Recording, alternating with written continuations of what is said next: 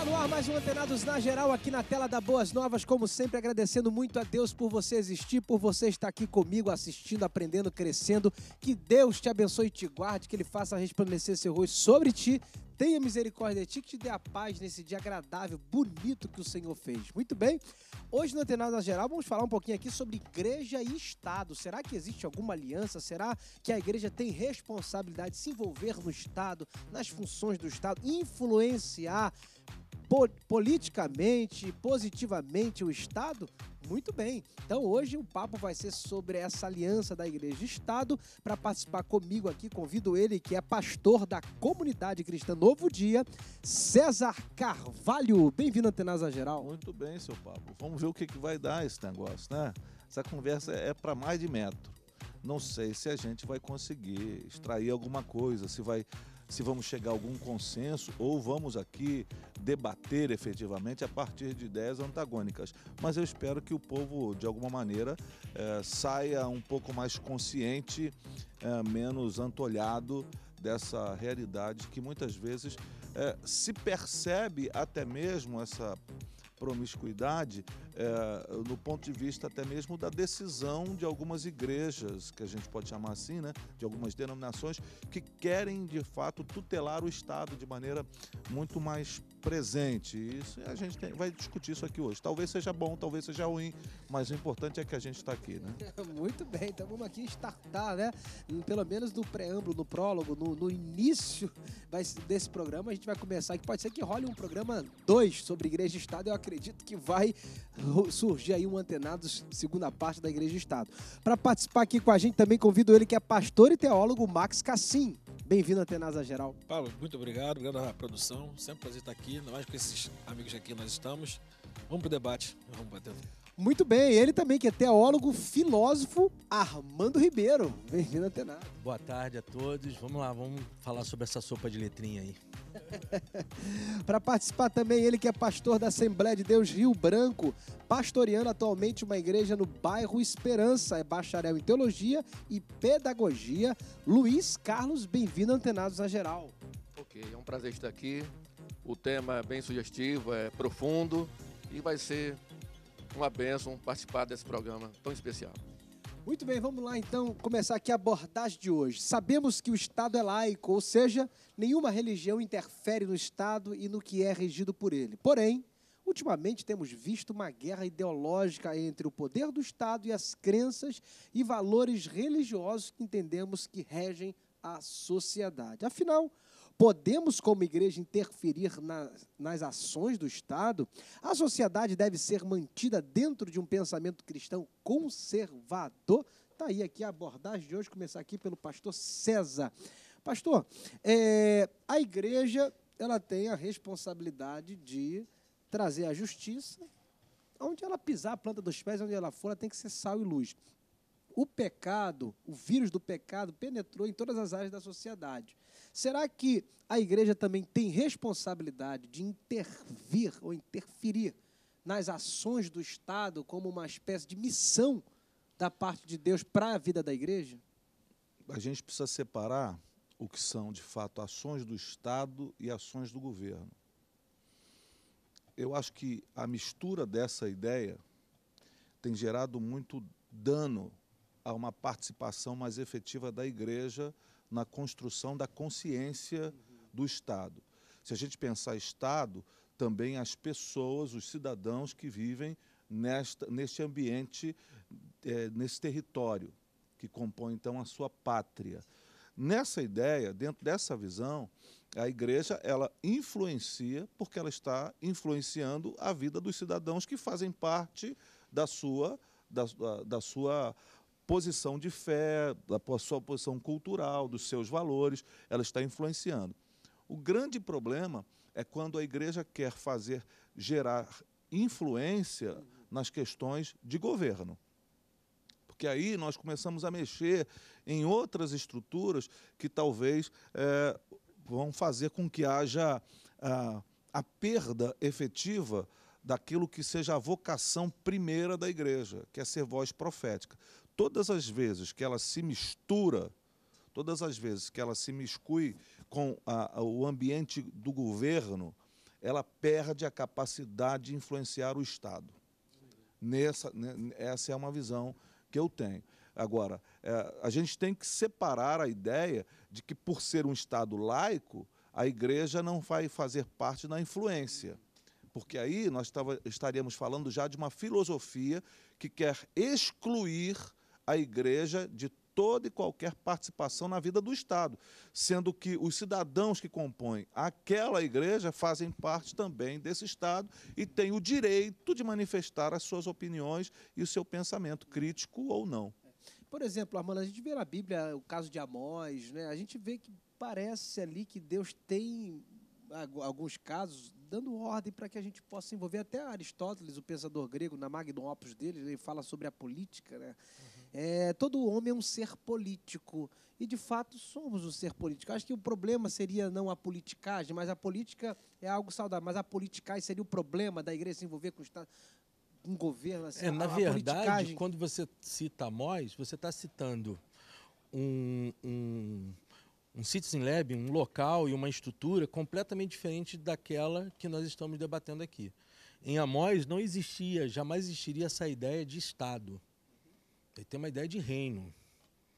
É, e como profeta, ele vem se colocar em favor do Senhor dos Exércitos contra o, o, a, as ações descabidas dos seus, líder, dos seus líderes. Mas ali é uma outra relação.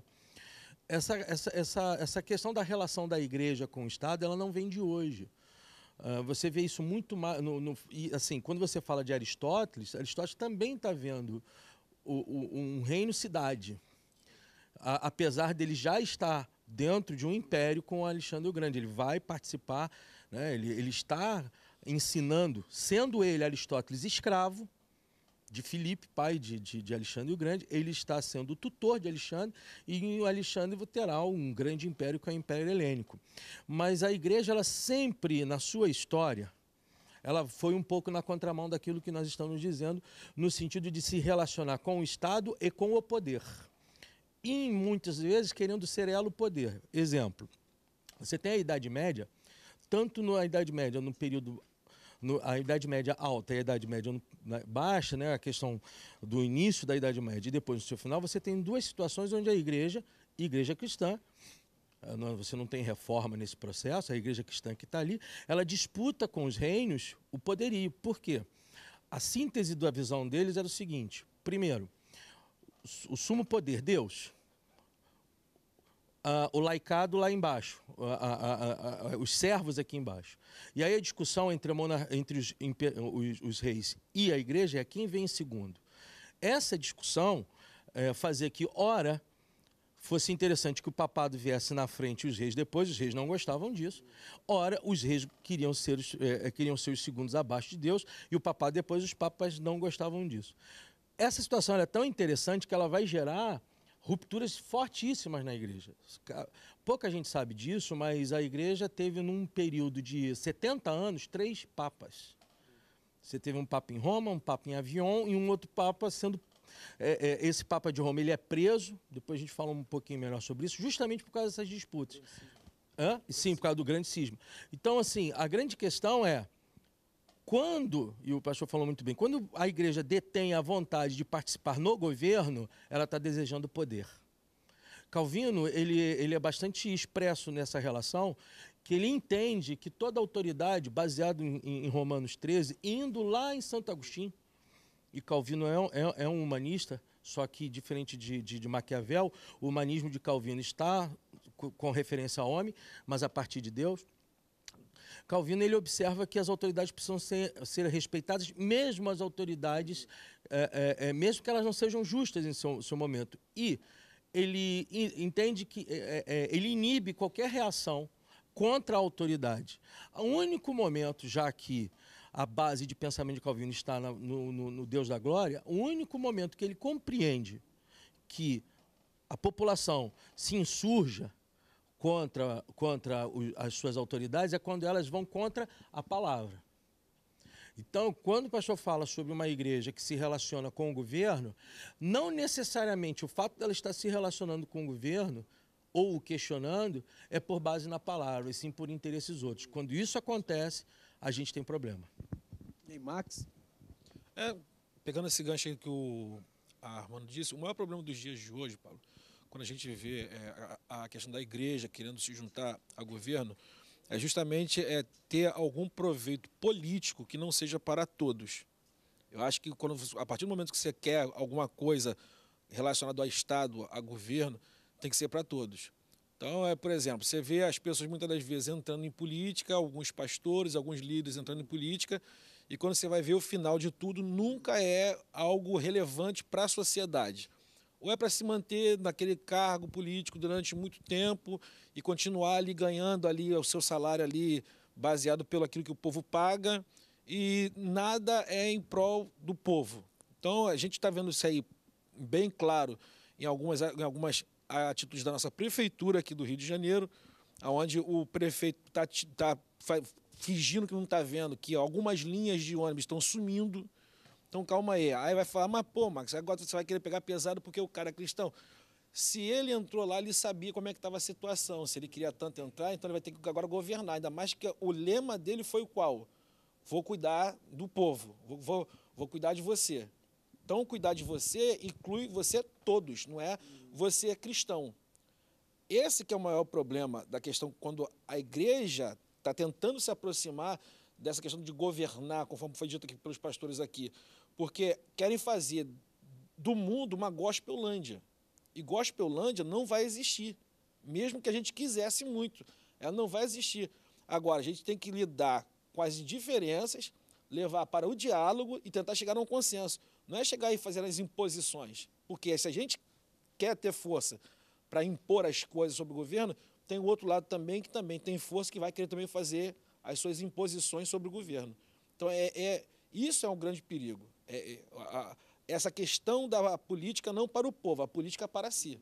Eu acho que é o maior perigo. Luiz? Eu penso que, sendo a igreja tendo a origem do povo hebreu, desde o princípio, quando no governo teocrático, né, Deus, através dos sacerdotes, governando, direcionando o povo, é, trazendo as leis, trazendo os mandamentos, é, mesmo assim o povo era desobediente, já não era tão, não deu tão certo mas era um modelo que, pensando hoje, poderia dar muito certo, né? Governo teocrático. Nós estamos num contexto desse tempo presente, onde a igreja, Estado, eles caminham tentando dar as mãos, mas tem a sua divergência. E eu penso que o governo humano é, tem as suas falhas. Mesmo quando era o teocrático, Deus, o povo hebreu, era difícil, imagine hoje, né? Mas eu penso que tem que achar um meio termo, uma via que possamos, a igreja, tentar, com todas as forças, caminhar na sociedade, respeitando o governo, mas procurando ser respeitada. Porque tem as leis injustas, né? como está lá em Isaías capítulo 10, versículo 1. Ai daqueles que decretam leis injustas. E a igreja, na sua posição, ela precisa ser firme naquilo que ela crê, ter a convicção daquilo que ela acredita. Uhum. Num Deus Criador, na salvação através de Jesus Cristo. E muitas vezes o Estado permite, é, digamos assim, até proporciona situações que possam entrar leis que venham bater contra a igreja, contra a família. E isso é um prejuízo. Então, assim, é, não, é, não é um problema a igreja se envolver na política mas é um problema se tornar como se tornou uma política partidária. Eu, eu vou dizer para você, defender uma, uma Pablo, bandeira. Para mim, quando você trata a igreja instituição, instituição, para mim é um problema a igreja se meter na política de governo mesmo e política sem levantar partidária. a bandeira. É, porque ela não vai levantar, ela não vai participar sem levantar a bandeira. Ela, ela em si mesma já tem uma bandeira. É, o problema é que a gente não pode misturar igreja e instituição com indivíduos que compõem certo. a igreja as pessoas podem e devem, os cidadãos brasileiros, sejam eles de que matiz religiosa forem, precisam dizer o que pensam e escolher representantes baseados naquilo que creem e que faz o seu, a sua costura de valores. Agora, enquanto igreja instituição, isso é um grande uhum. problema. Porque mistura aquelas pessoas que estão ali, que pensam de maneira divergente e faz todo um pacote como se fosse uma coisa só, uma massa que parece massa de manobra. Quando na verdade não é. Uma congregação pequena como a minha tem várias, várias frentes de ideologia política e eu não posso pastorear indicando o caminho da direita ou da esquerda nesse sentido. Eu não posso fazer isso, porque, na verdade, a igreja não é e nem pode defender nenhuma uma mensagem ou ideologia de esquerda ou de direita. A igreja tem uma mensagem que perpassa para além e muito além essa, esse pensamento, uh, uh, até mesmo, me permitam, em alguns momentos, anacrônico uh, da igreja institucional. A, a, a, gente, ora, está de, tá demonizando a direita, ora, está demonizando a esquerda. Quando, na verdade, o demônio pode estar exatamente uh, na intenção de participar desse processo. no julgamento. É, e na intenção de participar. Uh, a gente tem que ter muito cuidado. Eu posso, claro, e, e, e, como indivíduo, ter a minha opinião, eu posso ter as minhas cores, até mesmo partidárias, eu posso ter as minhas tendências ideológicas, eu posso ter a minha ideologia econômica, que vai me jogar um pouco mais à direita ou um pouco mais à esquerda, mas eu não posso fazer disso a minha a estrutura da igreja onde sou pastor. Uhum. Isso, isso para mim, é, soa leviano. Há um soa leviano. Risco. Então a gente tem que ter cuidado com isso também. Vou precisar para um break, o papo está só começando. Você que está aí gostando, aprendendo, não saia daí não, viu? Antenados vai para o intervalo, mas volta já, já. Para os perdidos, ele é a direção. Para os aflitos, é esperança. Para os enfermos, ele é restauração.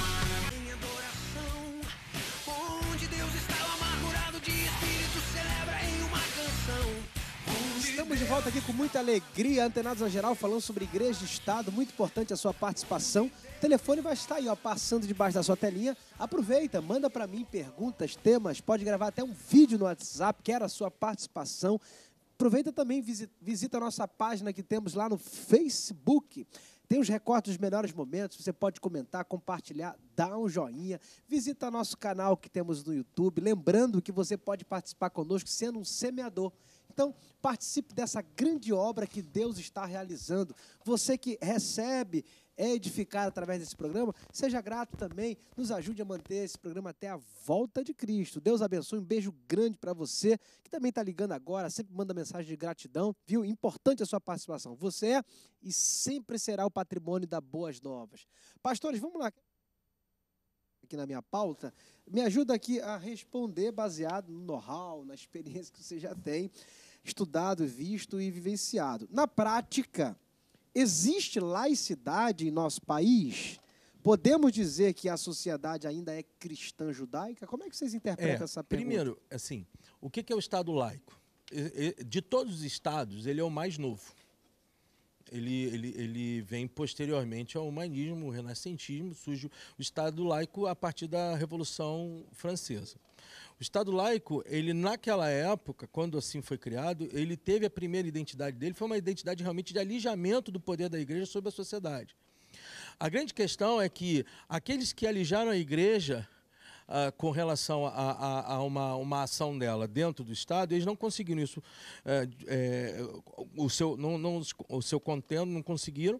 E mais do que isso, a própria Revolução Francesa se transformou em alguns momentos, o próprio discurso da religião, da, da, da é, é, do discurso político da Revolução Francesa se tornou um discurso religioso. Haja, haja vista depois a postura que Robespierre vai ter. Né? Então, assim. O próprio Napoleão. Napoleão Bonaparte depois. Quando né? se, quando se ele, coloca como imperador. Como imperador e, sim. Ele é representante divino ele, no processo. Ele, ele traz de novo aquela ideia do Estado absoluto junto com a ideia da anacronicamente, né, é, é, junto com a ideia da Revolução Francesa. Então, o que, que é a laicidade? A laicidade ela pretende é, demonstrar que o Estado ele é um Estado justo, ele é um Estado plural, ele permite a liberdade, daí um dos, um da, uma da, da tríade dos pilares da Revolução Francesa, a liberdade é dessa, é um deles. Ele permite a liberdade de pensamento e a liberdade de expressão, desde que, desde que esta liberdade de pensamento e expressão não a, a, a, afogue a liberdade de expressão do outro. Essa é um dos processos assim mais interessantes da Revolução Francesa dentro desse Estado laico que foi criado. E a partir daí, para que ele tenha um equilíbrio nas suas relações, ele cria três poderes: né? é o poder executivo, o poder, o, o poder judiciário e o poder legislativo, em que em algumas regiões é chamado de poder comum, que é aquele que representa a plebe, representa o povo. Nesse sentido, dentro de uma estrutura é, teórica, beleza, está correto. A grande questão é que, por mais que você faça sistemas, e o Estado sempre será um sistema estruturado, você não elimina a ação humana sobre ele. Então, o próprio, o próprio, essa própria relação interna ao Estado faz com que ele se releia e ele acabe, de novo, permitindo que o poder, haja um poder sobre o outro. Um exemplo muito engraçado e ao mesmo tempo triste é, se encontra na, de novo lá na Idade Média com três personagens: Henrique II, Thomas Becker e o Papa Alexandre III. Thomas Becker era muito amigo de Henrique II, século XIII, rei da Inglaterra. E aí por ser assim, os reis brigavam com os papas sobre a investidura dos seus sacerdotes. Era mais interessante Henrique II, como, como rei, investir o seu amigo como arcebispo de Cantuária. E assim foi feito. Thomas Beck passou a ser arcebispo de Cantuária sem a autorização ou a anuência ou a unção da igreja naquele momento. Só que Thomas Beck, como arcebispo, começa a tomar um corpo de um arcebispo muito mais indicado pela igreja católica do que propriamente pelo rei. A ponto de, no seu segundo ano de, de, de, de arcebispado, ele vai para Roma, entrega o, seu, a, a, a, o arcebispado ao Papa, dizendo que ele não poderia ter esse arcebispado porque ele não tinha sido investido pelo Papa, e o Papa o investe, ele volta. Quando ele volta, claro, ele vai ter o choque com o Henrique II, e num desses momentos, é, é, é, o Henrique diz assim, sentado no, no trono com seus cavaleiros, olha, poxa, esse, esse arcebispo está me dando muito trabalho, queria eu que ele matasse. Não sei se ele faz uma ordem ou se ele falou do coração. Sei que quatro cavaleiros saem de lá e vão e matam. Inclusive, existe um, um, uma peça sobre crime na catedral que é sobre isso. Eles entram na catedral, o, o arcebispo Becker manda abrir e ele é assassinado. É, qual é o grande problema? Henrique fica, dizem que Henrique fica amargurado e triste. Mas você não tem noção se ele realmente fica amargurado e triste ou ele fica com medo. Porque a Igreja Católica, e aí está a relação de Estado de influência, ela tinha duas grandes ações que ela podia tomar de poder. E naquele momento, o povo ele era tomado pela Igreja. Ela tinha o, imp, o impedimento, o interdito e a, a excomunhão poderia excomungar, é, é, é, excomungar. excomungar. o rei ou interditar. O Papa podia interditar a Inglaterra inteira, o reino inglês inteiro. O interditar queria dizer o seguinte: nenhum representante da Igreja Católica ofereceria os sacramentos.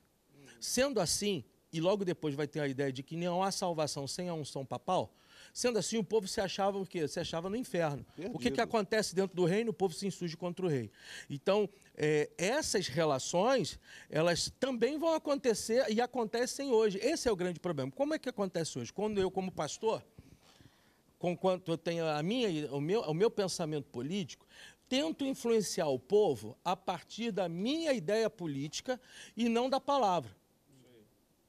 Esse é um, esse é um risco.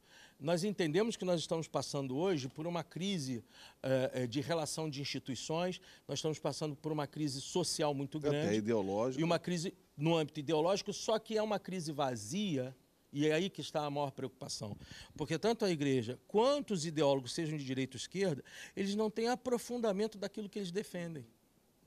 É incrível, a igreja não tem esse mesmo aprofundamento. Esse é um grande risco do vazio do Estado. E vocês acham que, é, pela percepção subjetiva de vocês, que se a igreja hoje tomar o governo do nosso país, será que a laicidade vai se acabar? Eu Posso seria falar, oposição. Deus me livre, posso falar? Antes de falar, falar Deus me falar. livre. É. A laicidade acabar ia. Eu acho que assim, o que, que acontece? É, a, a visão de um Estado laico não é um Estado que não haja religião isso. mas que haja liberdade é, religiosa. Respeito. É, é diferente do Estado ateísta, onde não há possibilidade de religião. É diferente. Então a gente. É, quem mais deveria lutar pela laicidade, pelo Estado laico, seria a igreja. A igreja seria uma das plataformas mais importantes da igreja é lutar pela laicidade do Estado. Porque isso, a única coisa que precisamos e que de fato gostamos mais do que qualquer outra coisa é da liberdade. Precisamos dessa liberdade para expor as nossas ideias. Mas para que eu tenha liberdade, eu preciso dar liberdade ao outro manifestar as suas próprias. Então eu, a gente tem que morrer lutando para que o outro possa dizer mesmo alguma coisa que eu não concorde. Agora... Mas ele pode dizer. A questão do, do, do Estado laico não é aquela, aquela coisa do Estado sem religião, é sem manifestação. Pela opinião do próximo. A, frase de Voltaire. A, a, ideia da diferença manifesta e visível, e todos participando do mesmo Estado. E o entendimento de cada ente. Eu sou é, da mesma forma que eu me coloquei frontalmente contrário à ideologização nas escolas, e vou me colocar o, o, resto da vida, porque eu acho que o professor ele tem uma, ele tem uma magna ópera na sua mão, que é, são as pessoas, é a educação em si. Eu também me coloco contrário ao ensino religioso na escola. E eu vou dizer por quê. Porque é impossível, impossível, a, a, a, a, pessoa que está com isso nas mãos não ter a sua, a sua, a sua ação tendenciosa. É impossível. Ação confessional. Confessional. Nós estamos. O que, o, que, o que é necessário? O que, aí é a questão: como é que uma igreja deve se postar em relação a isso? Os ensinos, os ensinos cristãos eu faço. E faço com conteúdo. Vou até o final, faço com conteúdo, trago a palavra com conteúdo. Você me permite só um adendo? Sim. Num contexto da igreja, a igreja deveria formar os pais. É onde eu, eu ia chegar Para que os pais possam formar Isso. as crianças na sua, no seu ideário é, de valor religioso. Isso. O grande problema é que nós estamos vivendo assim. O pai teve que ficar trabalhando o tempo todo fora. A mãe foi junto. Uh, nós todos estamos envolvidos numa grande, num grande sistema consumista. Todos nós achamos que para ser feliz nós precisamos das coisas. Aí nós fomos buscar essas coisas. As crianças ficaram sozinhas. Elas, o Estado quer tutelar as crianças a partir então do seu pensamento, quer tutelar e dizer essas crianças são minhas. E ensino aquilo que eu quero. Por quê? Porque elas são órfãs de pais vivos os próprios pais às vezes ou por até por uma por, isso tipo mas e aí a escola pra, tem que fazer a escola tem que tem ensinar que a igreja tem que ensinar isso alguém aí. tem que ensinar porque eu não posso ensinar porque isso eu não tenho tempo, tempo. mas eu essa, essa, coisas essa essa ideia do pastor que é, ela corrobora com a minha é, eu quando falo o ensino fica comigo eu estou incluindo a questão familiar eu, como igreja, no sentido uh, da política de educação, aí sim, o que eu tenho que fazer?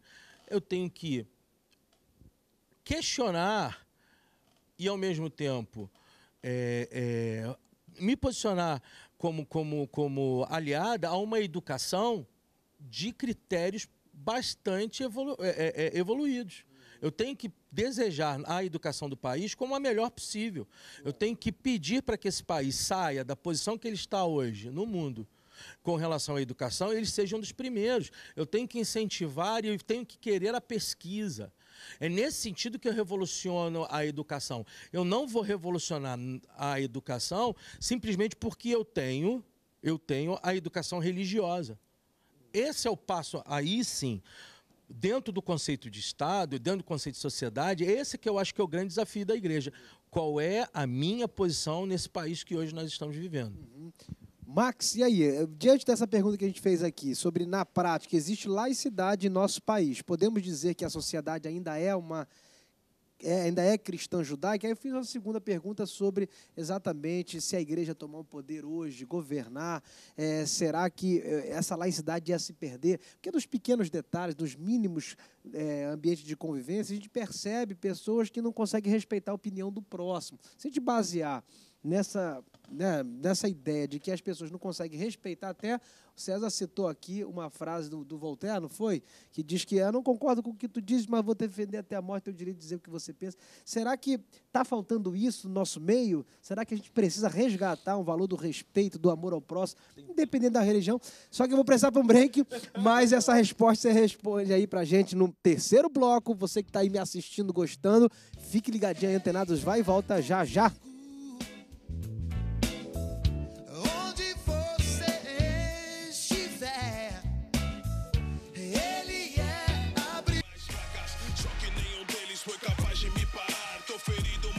Antenados na Geral está de volta aqui, sempre exaltando a Deus pelo que Ele é, agradecendo a Deus pelo que Ele faz. Estamos aqui debatendo um pouquinho, conhecendo sobre a situação da igreja e o Estado, se pode, se não pode, se é legal, se é ruim, quais são os benefícios, os prejuízos. Então, fiz uma pergunta aqui para o Max no último bloco, vou deixar que ele responder, que aí o, o, o César Já e o Armando estão tão cheios né, de conteúdo, que tá, tá difícil para a minha esquerda. Agora vamos para a esquerda, a direita tá boa.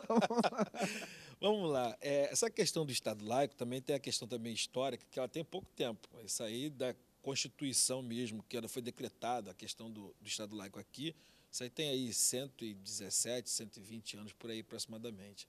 Então isso ainda tem um ranço histórico ainda muito grande no nosso país, que tenta ainda prevalecer ainda a questão do, do judaico-cristão. É, hoje em dia, olhando para os dias de hoje, a gente vê que não há o Estado laico. Por mais que a gente queira falar que há, não há. Há uma forte influência ainda, até mesmo devido a- aos políticos evangélicos, que aí não dá para entender, fecham às vezes umas alianças que não dá para entender, porque as alianças que se fecham não condiz com aquilo que o evangelho diz, mas tudo bem, vamos continuar. E você vê que é, é- é uma guerra de poder. A gente está até comentando aqui, no intervalo aqui, essa questão de poder. Vamos lá, se hoje tivesse que alguma igreja tomar o poder, qual igreja seria? Já iria ter guerra entre os próprios crentes, isso é fato. Primeiro que se entra um que é um calvinista, os arminianistas já iam arrumar guerra. Se entra um arminiano, os calvinistas já iam arrumar Protesto, guerra. Porque os arminianos são tão pacíficos. é, é discípulo mas, de John West. mas, mas, ia, mas ia, ia ter guerra de qualquer jeito, porque o, a, a briga é, é, é pelo poder. E quando se fala de poder, mexe com todo mundo. Claro que, se for falar numa questão deno- denominacional, temos umas aí que a gente não precisa nem falar. É o que mais fica brigando aí, televisão, mídia, YouTube, é o que mais briga pelo poder. Agora, não ia haver laicidade. Isso é fato. Se ho- hoje a gente lutando pelo país para ser um Estado laico, a gente está tendo que lutar. E muitas das vezes com aqueles que se dizem, eu falo cristãos, aqueles que se dizem ser cristãos, que tentam é, é, impor as coisas, conforme já foi, já, já foi dito aqui, muito bem dito. A laicidade é liberdade. E isso é uma coisa que os cristãos têm dificuldade. Até mesmo como igreja, eles têm dificuldade disso. Se você liberar alguma coisa, eles logo para os 80. Não conseguem manter o equilíbrio do 8 e 80. Então, assim, é- é- não, no meu ponto de vista, hoje, não existe Estado laico aqui no Brasil. Não existe. E aí, Luiz, essa é a posição do, do, do meu amigo marxista. Ele não é marxista, é marxista, né? É Max, da minha esquerda aqui. Mas vem cá, é interessante o que o Max está falando. Você também concorda? Sim, mesmo sabendo que a igreja né, é um povo ordeiro, mais ordeiro da terra, e tendo essa, esse Estado laico sendo estabelecido a partir, né, estabelecido mesmo a partir da Constituição de 88, não faz muito tempo, mas até então não podemos dizer que o Estado é laico na sua totalidade. Né? A dificuldade de se estabelecer isso, na essência, não tem acontecido, né? pela dificuldade que tem. Vamos eu, falar um eu pouquinho. queria só, assim, porque na palavra do Max pode gerar ah, um entendimento, e eu não vou contrariá-lo, mas pode gerar um entendimento que no Estado laico não há representantes religiosos na Câmara de Não. Comuns. Perfeito. Porque não, não é isso. Perfeito. É, a, o- quando a gente não pode misturar a laicidade do Estado com eh, a questão cultural. A, a cultura de um povo faz parte do pensamento desse povo e ela se sobrepõe a partir dos seus representantes. O que o Estado laico vai promover é a diretriz para que todos os, toda, toda essa, essas pessoas, todas as minorias possam ser ouvidas e ter voz. Expressar, falar, Exatamente. ser ouvida, isso aí. Então, não quer dizer que no- nesse caldo cultural, ah, porque ah, a cultura vigente seja judaico-cristã, esse Estado não é laico. É porque, na maioria da população, há o, o entendimento que essa seja uma boa cultura para aquele povo. Isso não, quer anula, isso não anula a laicidade do Estado. É só para pontuar e ponderar. Mas o que eu, Eu entendi. o que eu falo, pastor, é justamente o seguinte: por exemplo, se você chegar hoje na igreja hoje e falar que você não vota em Bolsonaro, o povo quer te matar. Se for Ah, é? falar que você vota. Mas em- depende da igreja, né? Depende da igreja. você está entendendo? Aí é que está essa questão. Porque os grandes. Os, Porque hoje o Bolsonaro nem líderes- candidato é, né? Não, sim, mas para o senhor ver, já nem isso quer. Mas para alguns líderes, se você votar fora disso, tu já está excomungado para o inferno. Tu não, tem, tu não tem salvação. Vamos tentar aqui é, definir, assim, é, diante dessa guerra ideológica, qual seria o papel do cristão e o papel da instituição, da igreja? Como é que a gente pode definir? Porque o papel da igreja é, humana, somos, tem- temos um papel, uma responsabilidade na sociedade. E a instituição, ela também tem uma responsabilidade na Eu sociedade? costumo dizer, sempre falo isso aqui, que a melhor maneira de ser cristão é ser cidadão. Se você, é- quando eu digo isso, é trazer tudo aquilo que Deus fez em mim para eu poder compartilhar com a minha cidade, com o outro, com o próximo. Hoje eu tive uma. Hoje eu fiquei muito feliz. Eu estava vindo pegar minha filha para deixar ela no colégio, tinha um ônibus na minha frente. E ele deu uma parada brusca, eu não entendi porquê. Tinha uma senhora com duas crianças para atravessar, parou todo mundo. Ele parou lá o carro, ficou todo mundo lá parado, o pessoal lá buzinando. Eu entendi a atitude dele, a atitude dele é uma atitude cidadã. Ele não colocou o horário do ônibus dele à frente da, da, da proteção daquela criança. Eu passei por ele, não, deve, não sei nem se ele entendeu. Eu buzinei, botei a mão para cima, falou isso. Esses, esses valores estão sendo perdidos na nossa sociedade. Então, quando ah, eu tenho que compreender que eu faço parte, eu sempre falo isso, de um país que ele é o segundo maior país protestante do mundo, o maior país espírita do mundo, o segundo maior país de religião afro do mundo, o maior país de religião oriental fora o Oriente do mundo, o maior país católico do mundo. Eu não posso entender que as pessoas precisam viver como eu. Aliás, Cristo nunca, nunca é, é, trabalhou o conceito da transformação a partir da religião. Ele trabalhou o conceito da transformação a partir do poder de Deus sobre essa pessoa. Sendo assim, como cidadão, eu tenho que procurar ter uma é, ligação com a proposta de Cristo. Cristo era um homem de cidade. Ele é um homem do campo, mas que ele vai à cidade. Cristo é um homem da relação. Cristo é um homem de ter posicionamentos fortes e, quando necessário, se colocar assim. Mas Cristo é alguém que nos dá o espelho de viver. E quando fala-se espelho de viver, eu não estou falando um espelho de viver no, no sentido do santarrão. É no sentido de saber que eu erro, que eu acerto. Eu não sou obrigado a votar num cristão, aquela coisa crente vota em crente. Não tem essa história. Eu tenho que votar, eu tenho que pensar primeiro em pedir a Deus que Ele me mostre a melhor pessoa. E se eu quiser até me transformar num, num, num- num representante político, que eu assim o faça, mas eu faço sob a medida de Cristo. A grande questão hoje é que nós queremos mudar sem mudar. A igreja, aí entra a igreja. A igreja, para que ela peça a modificação do cenário social, ela precisa se modificar como igreja. Eu falava isso agora no, em off, a- a- essas, essas, essas, as crises que estão tendo, que nós também temos a crise da minoria que quer impor a maioria, eh, que é o outro erro do radicalismo das relações sociais, mas o posicionamento da igreja em não entrar no, no, no fio da discussão como um debate, como se fosse realmente essa questão do Fla-Flu. A proclamação da palavra, ela não vem em resposta a, a violenta àquilo que eu sou acusado. Eu não tenho nenhum problema, nenhum problema como igreja. Se eu acredito no poder de Deus e na investidura do poder de Deus sobre a igreja, eu não vou me preocupar por uma, quando uma emissora faz um. e saber do- da origem e de como essa emissora trabalha, eu não vou ficar tão, tão revoltado por uma emissora eh, eh, manipular uma reportagem contra mim. Até porque a- o cristianismo, e nós precisamos sair da comunidade, ele não é a religião que persegue. Ele é o povo que sempre será perseguido. Então, esse processo eu tenho que continuar andando. E eu tenho que modificar esse cenário com o amor que Cristo nos deu e com a postura que Cristo nos dá. Você falou a palavra que eu acho que define. A- Na recomendação de Jesus para as nossas relações, sejam elas políticas ou qualquer uma, amar a Deus sobre todas as coisas, ao próximo como a ti mesmo. Então são três níveis de amor: a Deus, ao outro e a mim mesmo.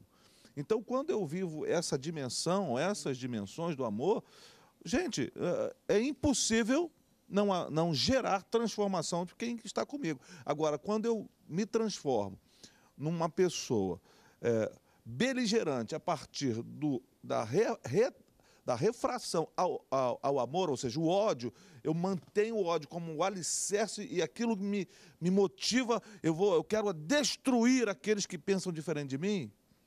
Onde está o amor a Deus, ao próximo e a mim mesmo? Os novos cruzados, né?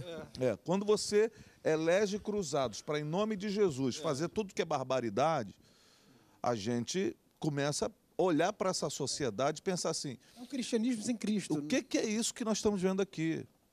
O que, que é? é claro que a gente sabe que é uma barbaridade pegar um traficante quebrando lá, mandando quebrar os, as imagens lá e, e, dizer que é um traficante evangélico. A gente sabe que isso é uma barbaridade isso é um pensamento completamente antagônico. Mas a gente deve parar e olhar o que o cara está dizendo e, e, também ser capturado por aquilo que ele está dizendo.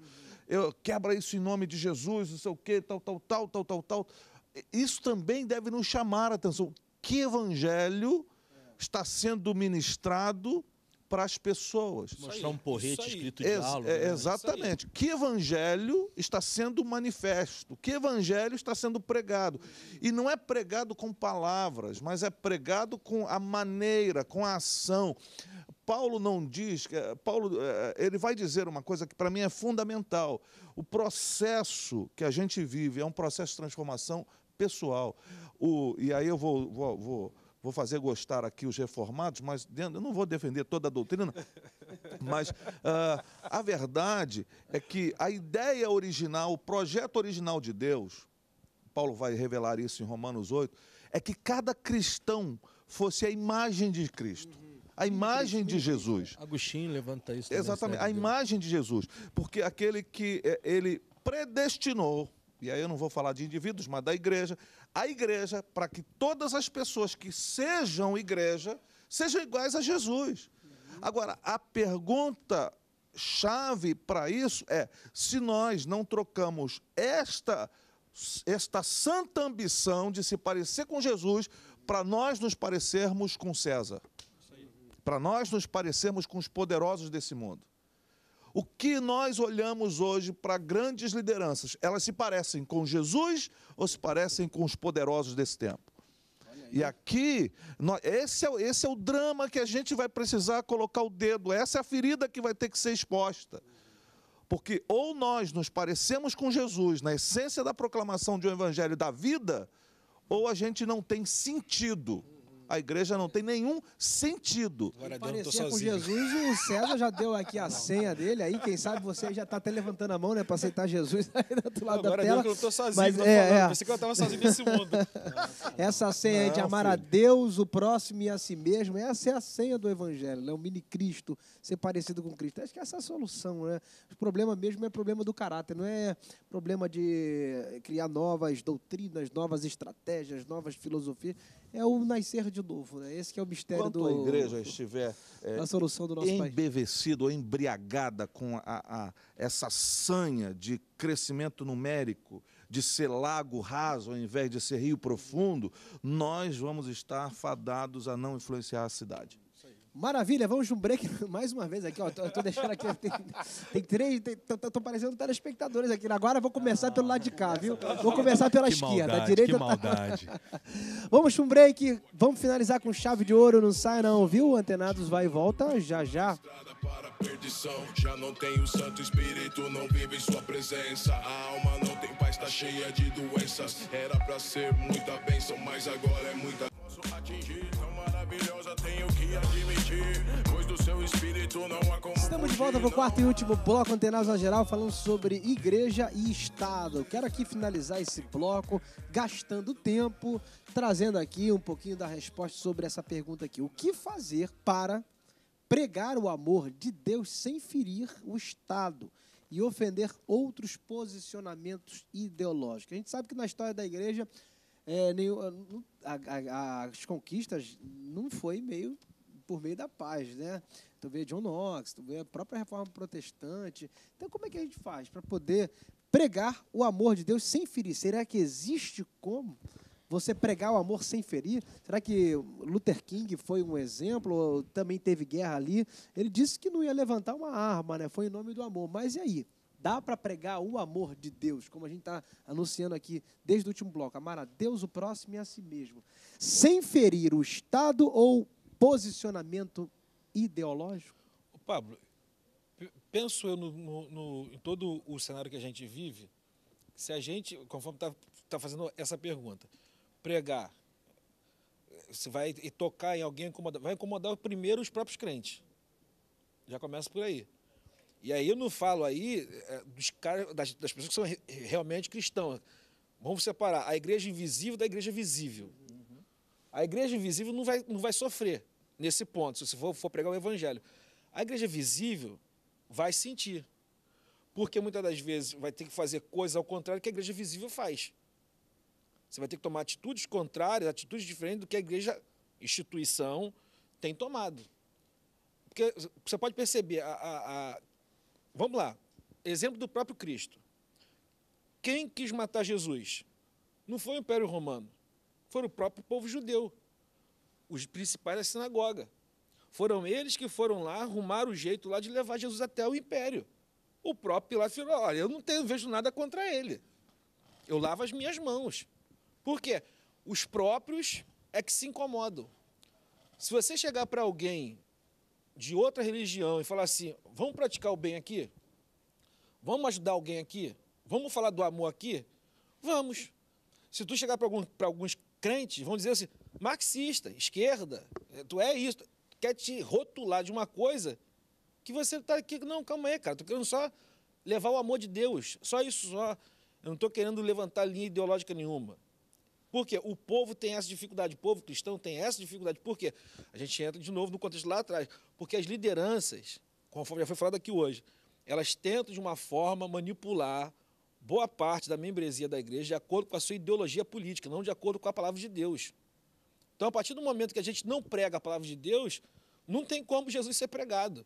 Se a gente não vive a palavra de Deus, não tem como Jesus ser vivido. E não tem como os outros verem Jesus. Foi falado aqui, belamente pelo pastor César aqui. Por que, que o traficante falou lá, em nome de Jesus, quebra essa imagem? Porque quem é que está passando essa imagem para ele? Quem é que está pregando esse evangelho para ele? É a pessoa da Umbanda? É a pessoa do, do, do Espiritismo? Não é. Porque até o linguajar, até a forma de falar, é forma de gente que veio de igreja, que está vendo alguma coisa dentro de igreja. E que se for vasculhar bem, o dia que pegar, se pegar essa pessoa que fez isso, e se for vasculhar bem, vai ver que tem um pastor por trás que recebe o dinheiro do tráfico também em nome de Jesus. Então, assim, se a gente quer realmente pregar, por isso que eu falando, se for realmente ter que pregar o evangelho, como eu sei que tem gente que prega o evangelho realmente, vive o evangelho realmente, mas que incomoda os próprios crentes. Bobear não vai nem incomodar o outro de outra religião, vai incomodar a própria igreja, conforme já foi dito aqui entre, entre conversa nossa aqui. Quem persegue os crentes são os próprios crentes. Luiz? É, eu penso nessa questão é, do Estado, igreja, e a liberdade da igreja pregar a palavra, né? Não é muito fácil. Mateus 22, 21. Jesus dando uma resposta de uma armadilha que fizeram para eles, religiosos, né? Dai, pois, a César o que é de César, e a Deus o que é de Deus. Então nós sabemos que Jesus respeita o César, o Estado, ele sempre ensinou que deve haver esse respeito. Nós devemos respeitar, sim, o Estado, as organizações, enfim. Mas não é fácil, porque nós vemos muitos movimentos contrários à família, contrário o princípio básico cristão, movimentos que são muito apoiados de uma maneira, claro que deve ter um respeito com todas as pessoas, mas às vezes querem lançar é, leis, decretar leis que venham ofender diretamente a nossa fé. Então, para se respeitar o César atualmente, o Estado, né, na sua essência, tem sido uma dificuldade para a igreja, porque ela não tem sido respeitada na sua essência, né, no Eu seu acho pensamento. que tem uma diferença grande quando você falou sobre o Evangelho. O Evangelho de Cristo sempre vai ferir. Só que essa ferida é uma ferida de restauração ele não vai matar. O evangelho vai sempre questionar, sua, ele vai te, pode matar como no sentido da transformação. A linguagem do evangelho, então, ela será assim, ela será assim, confronto a um Estado, se esse Estado for um Estado injusto.